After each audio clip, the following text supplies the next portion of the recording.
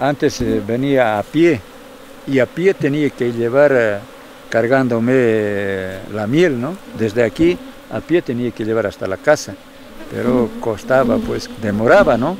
Ahora ya tengo una moto, entonces ya me acerca de Aquisito, entonces ya casi unos 300 metros no me hacía camino, ¿no?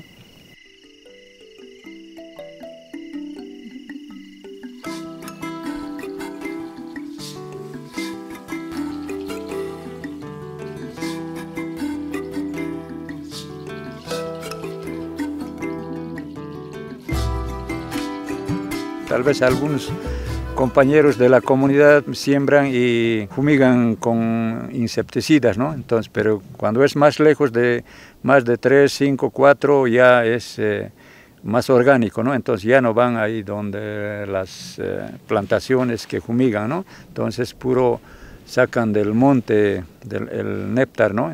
A nuestras abejitas, ¿no? ¿Ve? Y cuando florece las plantas, entonces él siempre viene a chupar las plantitas, ¿no ve? Entonces con eso mueren también ellos, ¿no ve? Cuando fumigan con esos eh, químicos, entonces ellos mueren siempre. Y eso también está dañando, entonces eso hemos uh, mirado, no, no nos ha dado bien, entonces por eso estamos cambiando, ¿no ve? ¿Por qué pongo así diversas? Porque mm, por la vegetación, ¿no? Entonces, porque en un solo lugar no puede dar más casi de 10, ¿no? Entonces, eh, tengo que poner eh, por lo menos a 4 a 5 kilómetros. Veo el rendimiento de las colmenas que me dan en los que son más lejos. Eh, me da ventajas, ¿no? Para poder cosechar más cantidad de miel, ¿no? Para ya tener un poquito más ya para el sustento o para sobrevivir una familia, ¿no? Pero más antes eh, cosechaba, ¿no? Hasta 20, 22 kilos me cosechaba. Entonces, pero ahora la, vegetación un poco ha bajado también el, con los cambios climáticos. Eh. por el momento están produciendo 15, 18, ¿no? Por ahí están, hasta 10 se saca, ¿no?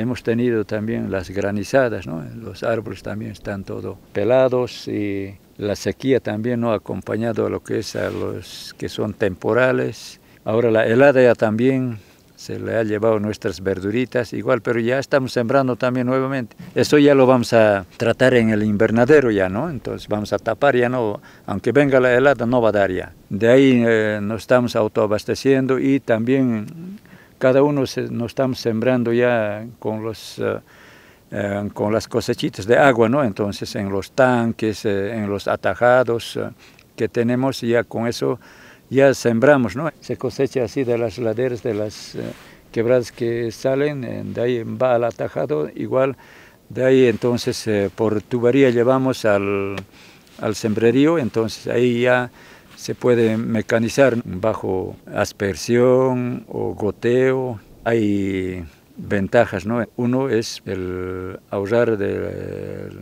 consumo del agua, ¿no? Y otro es mm, el tiempo que me tengo que dedicar. Ahora puedo largar la agua y puedo venir a hacer el control de las abejas, ¿no? Porque esta comunidad era seco, no había para ni para tomar, ni para lavar las ropas, no había grijos, ¿no ve? Agua potable no había. Aquí tenemos dos tanques y con eso ya estamos felices.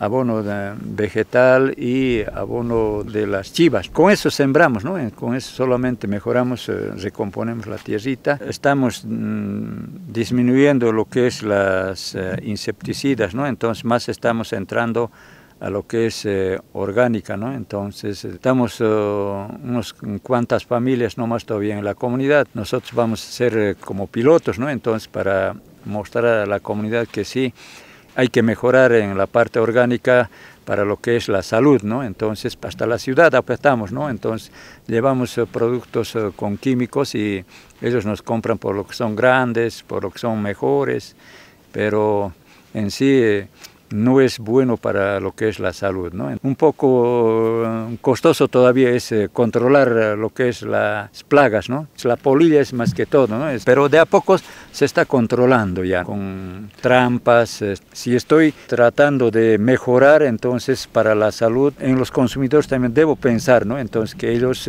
me están comprando con un precio, ¿no? Pero debemos eh, ser conscientes cada productor, ¿no? Entonces, ¿cómo debe ser tratado yo? Entonces, igual yo debo tratar a otra persona o a un consumidor.